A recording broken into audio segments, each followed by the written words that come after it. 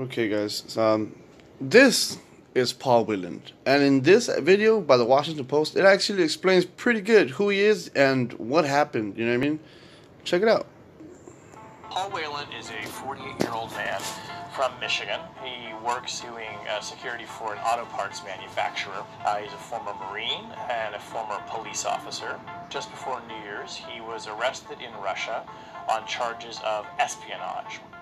So the facility where he's being held is a pretty notorious jail, and at some point as he's awaiting trial, which may be for several months, there's every presumption that he will be moved into the general population with other Russians.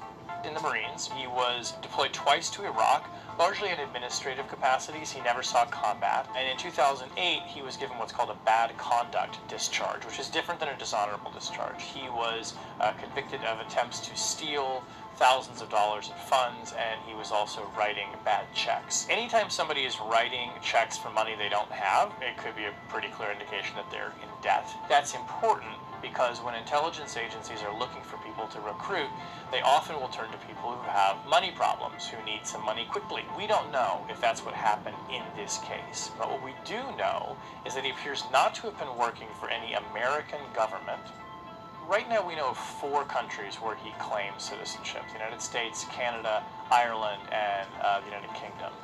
He's reached out for what's called consular access, essentially talking to diplomatic officials in all of those countries. It's not unusual for somebody to have more than one passport, but unusual to have four. So obviously, given the nature of the allegations against him, this has also raised questions. But there's nothing that's leaping out that says that Paul Whelan would have been a natural person that a foreign government would want to recruit. His family has said that he was in Moscow to attend a friend's wedding.